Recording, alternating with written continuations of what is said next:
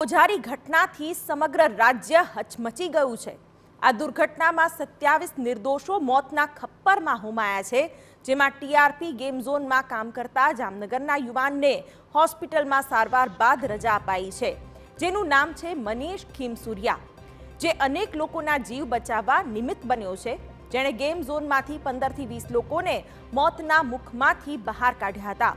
તેણે સમગ્ર ઘટના વર્ણવતા કહ્યું કે સૌ પ્રથમ તેણે જ આગ લાગતા જોઈ હતી, ત્યારે તે સામાન્ય આગ હતી, જેની જાણ તેણે સંચાલકોને કરી અને આગ બુજાવવાનો પ્રયત્ન પણ કર્યો, પરંતુ તે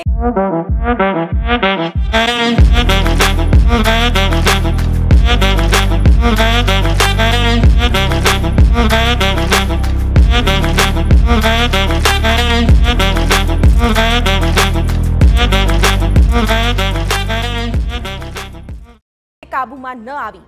મનીષના જણાવ્યા પ્રમાણે તે લોકોને બીજા માળે લોકોને બચાવવા ગયો હતો, પરંતુ પંદરથી વીસ લોકોને જ બચાવી શક્યો હતો. જે બાદ આગે વિકરાળ સ્વરૂપ ધારણ કરતા પોતાનો જીવ બચાવવા અંતે બીજા માળેથી કૂદકો માર્યો, જેમાં તેના માથા, ગરદન અને હાથમાં ઈજા પહોંચી હતી. રાજકોટ સિવિલમાં એક અઠવાડિયું સારવાર કર્યા બાદ તે પોતાના ઘરે જામનગર પરત ફર્યો છે. ટીઆરપી ગેમ ઝોનમાં જોબ કરતો હતો. અને ત્યાં અચાનક વેલ્ડિંગ કામ થવાથી આગ લાગી સામાન્ય આગ હતી ત્યાં. અને ત્યારે આગ એવી ભયંકર થઈ ગઈ કે બચવાનો કોઈ ચાન્સ જ ન રહ્યો. બધાથી પહેલાં મને જ ખબર પડી કે આગ લાગી ત્યાં.